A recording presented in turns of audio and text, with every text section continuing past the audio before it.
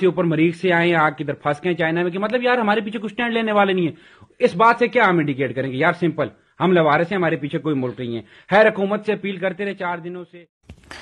नमस्ते दोस्तों, मैं हूँ आरपी। स्वागत है आपका इंडिया स्पेशल में। दोस्तों, आज बात करने वाला हूँ कोरोना वायरस के बारे में। कोरोना वायरस से दहशत में है कंगाल पाकिस्तान। चीन से नहीं निकालेगा अपने नागरिकों को।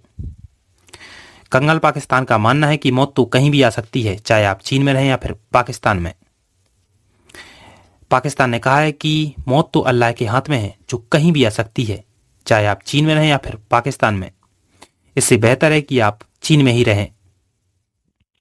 असलम आज फिर से दोबारा से खिदमत में हाजिर हूँ। असल में मसला ये कि मसलसल चार दिन से वीडियोस बनाए जा रहे हैं, अपलोड किए जा रहे हैं, हुकूमत से अपील किए जा रहे हैं। आज चार दिन के बाद ज़फ़र मिर्ज़ा साहब का बयान आता है, हेडलाइन आती है कि पाकिस्तान के जितने भी खौफजदा तालब इलम वुहान शहर के या उस चाइना के अंदर मौजूद हैं, वो वहाँ पर ही रहें, उनको वहाँ से नहीं निकाला जाएगा। ये हेडलाइन सुनने के बाद तो यकीन माने, पहले तो ये फीलिंग थी कि लवारस हैं। हमारे पीछे कोई मुल्क है ही नहीं है, हमारे पीछे कोई सोर्स है ही नहीं है, पता नहीं कहाँ से ऊपर मरीज़ से आए आग किधर फंस गए चाइना में, कि मतलब यार हमारे पीछे कुछ स्टैंड लेने वाले नहीं है।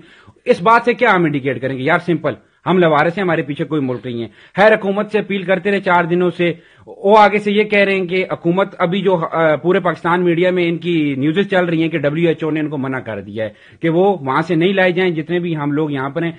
कल दोपहर को एक बजे मेरे जूनियर इंडियन जितने इनकी फ़्लाइट है। मैं आपको वीडियोस भेजूँगा। विद प्रूफ बात करूँगा। कल ये इंडियंस एक बजे चले जाएँगे, ठीक है? और ये तादाद में हमसे ज़्यादा थे इस यूनिवर्सिटी में। तो क्या इन पर डब्ल्यूएचओ का रूल नहीं लगता है? क्या इनकी कंट्रीज़ में वायरस नहीं जा सकता? भाई, ये ये भी जाएँगे, इनको भी वहाँ पर स्कैन किया जाएगा स्क्रीनिंग की जाएगी चौदह दिन। इनको अपनी कस्टडी में रखा जाएगा तो फिर होगा सेम आप भी इसलिए करें।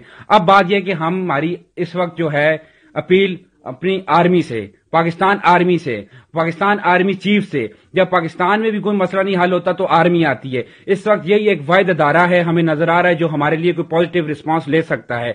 जिसको सोच के ये फील आता है कि हमारे पीछे अभी भी कोई एक चीज़ मुनजम अदारा मौजूद है, जो हमारे लिए आवाज़ उठाएगा मेरी फिर से एक बार गिड़गड़ा कर इस बार आर्मी चीफ से अपील है कि पाकिस्तान आर्मी से अपील है कि सर काइंडली हमारे लिए कुछ करें। हम जो बच्चे खुबै प्रोवेंस के अंदर स्टक हो चुके हैं। सर, हमें जल्द अज जल्द यहाँ से निकाला जाए। इससे पहले कि हम में से मजीद कोई और बच्चा इन्फेक्ट हो, पाँच तो ऑलरेडी हो चुके हैं और ये वो वायद मुल्क है जिसके पाँच बच्चे अभी तक इन्फेक्ट हो भी गए और वो मुल्क टस से मस नहीं हुआ है। जिनके नहीं और वो दोस्तों, एक खबर टुकड़े टुकड़े गैंग और जिनको जिन्ना वाली आज़ादी चाहिए थी, उन लोगों के लिए बहुत बुरी खबर है। शायद ये वो सदमा बर्दाश्त ना कर पाए, क्योंकि उनका चहिता पाकिस्तान अपने ही छात्रों को मौत के मुँह में धकेल दिया है।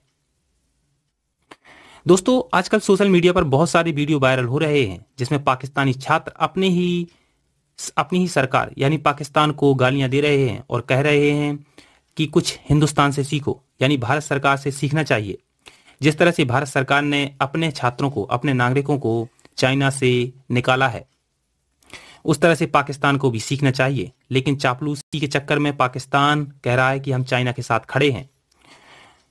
इसलिए पाकिस्तान ने अपने ही छात्रों को मौत के मुँह में धकेल दिया है, क्योंकि वह चाहता है कि कहीं ना कहीं हमें एक टुकड़ा मिल जाता है।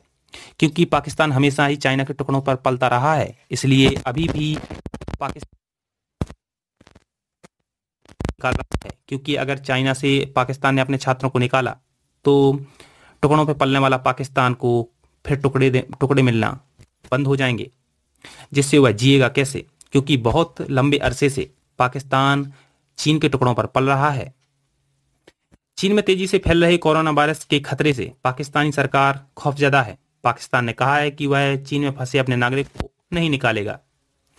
पाकिस्तान का कहना है कि मौत तो अल्लाह के हाथ में है, जो कहीं भी आ सकती है। इसलिए बेहतर है कि आप चाइना में ही रहें, क्योंकि पाकिस्तान में तो डॉक्टर ही नहीं है। साथ ही पाकिस्तान की अर्थव्यवस्था, वो आप जान ही सकते हैं कि पाकिस्तान की अर्थव्यवस्था किस हाल में है। द एक्सट्रीवन के हवाले से बताया गया है कि चीन में फंसे पाकिस्तानियों में मुख्य रूप से छात्र हैं, जो वुहान शहर में रहते हैं। वुहान चीन का वह शहर है, जहाँ से यह महामारी चीन के बाकी हिस्सों समेत दुनिया भर के मुल्कों में पहुँची है। द एक्सप्रेस ट्रिब्यून ने नेशनल हेल्थ सर्विस पर पाकिस्तानी प्रधानमंत्री इमरान खान के विशेष सहायक ज़फ़र मिर्ज़ा के हवाले से बताया है कि सरकार अपने नागरिकों को चीन के वुहान शहर से नहीं निकालेगी।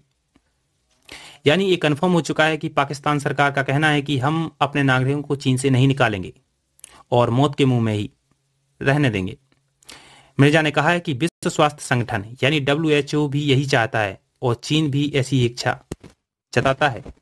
हम भी इसी नीति के साथ खड़े हैं और हम पूरी एकजुटता से चीन के साथ खड़े हैं। पाकिस्तान की यह मजबूरी है कि यह कहने को वह मजबूर मजबूर है कि पाकिस्तान चाइना के साथ खड़ा है, क्योंकि पाकिस्तान चीन के टुकड़ों पर पलता है, भारत नहीं। इसलिए भारत सरकार ने अपने नागरिकों को सुरक्षित चीन से निकाला है और भारत लाई है। इसलिए आज पाकिस्तान को सीखना चाहिए भारत से कि अपनी नागरिकों को सबसे पहले सुरक्षित रखना चाहिए, भले ही उस देश से संबंध खराब हो जाएँ।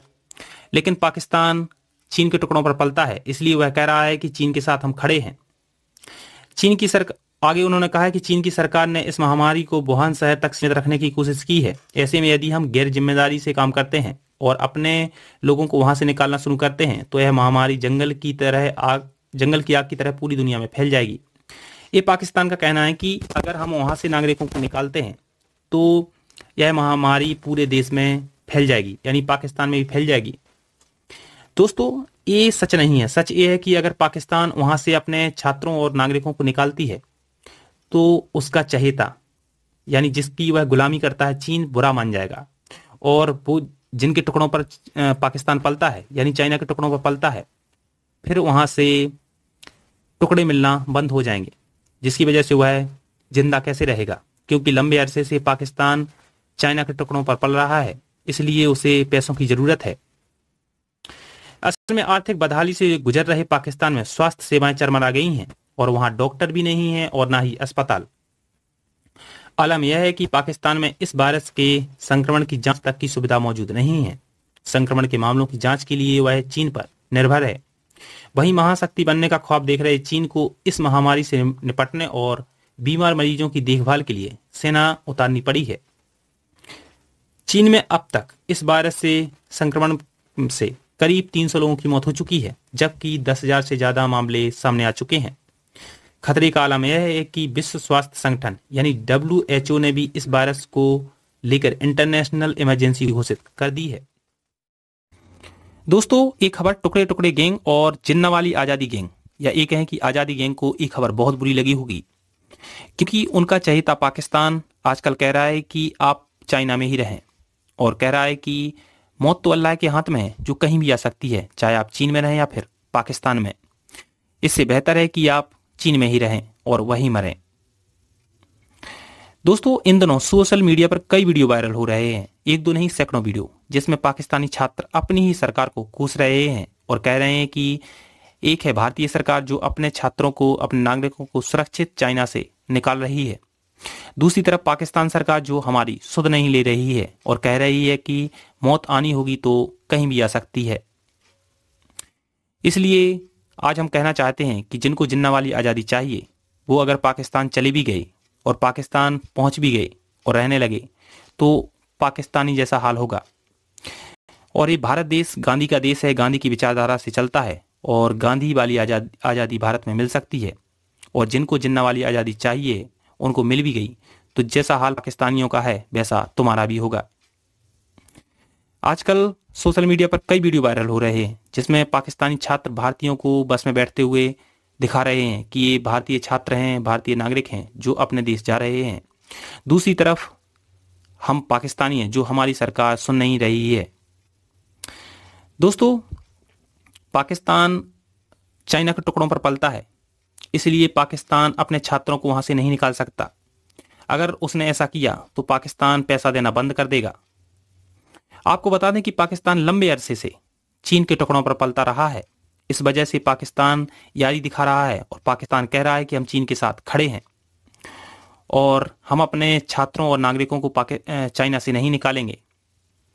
दोस्तों, ये मजबूरी है पाकिस्तान की। अगर पाकिस्तान ने अपने नागरिकों को चाइना से निकाला तो पाकिस्तान, चाइना बुरा मान जाएगा पाकिस्तान से और पाकिस्तान को पैसा देना बंद कर देगा और पाकिस्तान भूखा मर जाएगा। पाकिस्तान सरकार को भारत सरकार से सीख लेनी चाहिए। किस तरह से भारत सरकार ने अपने नागरिकों को निकालकर सुरक्षित भारत ले आए हैं, उसी तरह पाकिस्तान सरकार सभी छात्रों को निकालकर पाकिस्तान ले जाए।